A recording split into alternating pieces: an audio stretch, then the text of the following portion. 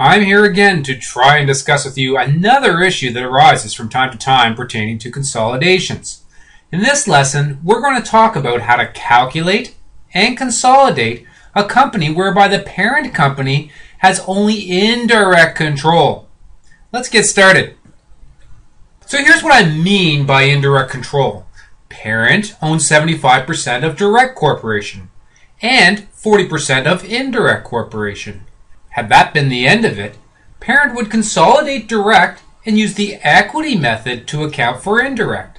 But here's the rub. Direct Corporation acquired a 40% block of indirect corporation shares this year. But by virtue of parent corporation having the ability to vote both blocks of shares, the 40% it owns in indirect, as well as the other 40% that it controls through direct corporation, parent now controls indirect corporation, albeit indirectly, pardon the pun. Where control exists, so does consolidation. The principles of consolidation that we have discussed in previous lessons still hold. In a consolidated entity, you start by combining all the sets of financial statements and then go about your eliminations of the intercompany activity within the elimination zone, as well as those amortizations of the purchase price differentials. However, because there are both direct and indirect earnings for parent, you need to go about the calculation of consolidated net earnings and the parent's allocation of those earnings sequentially as depicted in this diagram. So directionally, we're going to do all of the same things we've already talked about. However, practically speaking, we're going to start at the bottom of the organizational chart. That is, with indirect corporation, and work our way back up to a parent corporation. Now let's look at an example to see what this looks like. Now here's the actual math behind the previous slide's representation. And we're going to work through the example in just a second. But I wanted to start with noticing how we have the three companies across the top and the results are getting combined. In the first section, we do all of the consolidation entries as we normally would for the eliminations and the amortization of the purchase price differentials. I'm going to leave the gain on the revaluation until we get to the actual example. This gives us a line on our schedule that's been noted as the consolidated net income. The bottom half of this schedule is useful to figure out the non-controlling interest allocations of that consolidated income. By starting with indirect corporation, we allocate its equity earnings to parent and direct corporations for each of their respective 40% interests. The $3,640 represents a portion of the non-controlling interest. Next, we look at the direct corporation and allocate its equity earnings, being the 75% to the parent and the remaining 25% to the non-controlling interest of direct corporation. Note that a portion of these earnings actually include those that were allocated by indirect corporation. So the non-controlling interest allocation for direct corporation is $13,478. And for the consolidated entity, the allocation to non-controlling interest is $17,118, leaving $172,075 as the parent's allocation of consolidated net income. Do you see how this process works in reverse, working from the bottom of the organizational chart up to the parent? So now let's dive into a detailed example. Okay, so here's our example. We have extracts from our year 7 financial statements prior to the equity method journal entries presented here for each of parent corporation, direct corporation, and indirect corporation. So you can see the respective assets and liabilities, as well as the shareholders' equity, as well as the net income for each of the legal entities. The acquisition information is presented here. Parent acquired indirect corporation on January 1st of year 4. And at that time, the negative purchase price differential on the 40% interest was $10,000, all allocated to equipment with a 10 year economic life. In year 6, parent acquired its 75% interest in Direct Corporation. The purchase price differential at that time was $40,000 relating to a building and $53,333 to patents with an 8-year life. And then finally, uh, on January 1st of year 7 this year, for $92,000, Direct Corporation acquired its 40% uh, interest in Indirect Corporation, and there was no purchase price differential on this acquisition. And to make this example a little bit more realistic, let's just sprinkle in some intercompany transactions and balances. Inventory in Direct Corporation purchased from Parent Corporation, in other words, a P to S transaction, contained profit of $2,400. Inventory of parent corporation purchased from indirect corporation contains profit of $3,000. In other words, an S to P transaction. Parent owes $20,000 to indirect corporation. Indirect corporation owes $2,000 to parent. And we have a 40% tax rate. Here's what we want to calculate in this video. What is the non-controlling interest of the consolidated net income? As well as what are the consolidated retained earnings statement? As well as redrafting the consolidated balance sheet. Let's start with the acquisition that happened this year.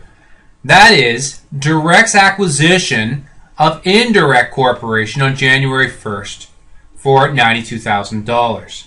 Now, the importance of this acquisition was that when combined with the 40% that Parent Corporation already owned, those combined blocks gave parent corporation control over indirect corporation. So at this point in time, we need to recalculate a purchase price differential.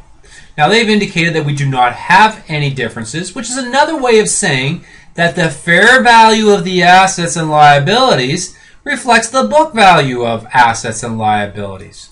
However, with the acquisition of control of indirect corporation, there is one item that we need to be concerned with. That is parent corporation's valuation of its existing investment in its 40% block in indirect corporation. Now, upon the acquisition of control, as you'll remember from a prior lesson, parent will adjust its cost base of its investment to reflect the fair value. And since Direct Corporation just paid 92,000 for its 40% stake, this will result in a $7,000 gain that will get flushed through the income statement. Note that all of the prior purchase price differential that the parent was amortizing against its equity earnings will now go away. That's our first adjustment. Now let's move on and look at calculating our purchase price differential amortization schedules. Now, since we did not have a purchase price differential on the acquisition of control of Indirect Corporation, there's no schedule to prepare. There's no fair value increments to amortize, or reverse. However, we still need to be concerned with and track the continuity of the purchase price acquisition differential of parent's acquisition of direct corporation in year 6. So you can see that we have to track the building and the patents. And the amounts have been updated and reflected here. And we'll take amortization of $8,667 in year 7. Next, we need to analyze the intercompany transactions that were provided to us. We have some intercompany profits and ending inventory that will need to be eliminated. We have the parent to direct and the indirect to the parent transactions. So we've noted the gross profits need to be eliminated from the inventory as well as the deferred taxes that need to be set up. So now we're at a point where we can calculate the consolidated net income.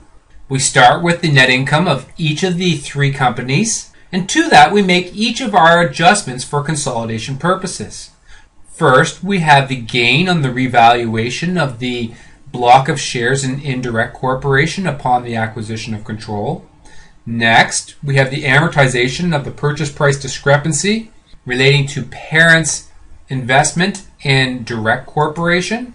Next, we have to eliminate the profit and ending inventory on intercompany transactions which leaves us with consolidated net income. Now we need to go through and figure out how much of that net income gets allocated to the non-controlling interest and how much gets allocated to the common shares of parent corporation. If you recall from the comments at the outset of the presentation, you will start with indirect corporation and you will allocate its income to its respective owners.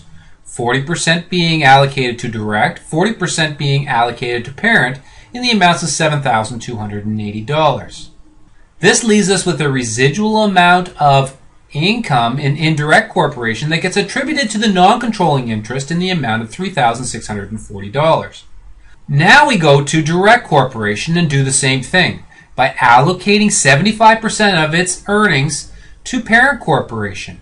This leaves an additional residual of $13,478 that gets attributed to the non-controlling interest.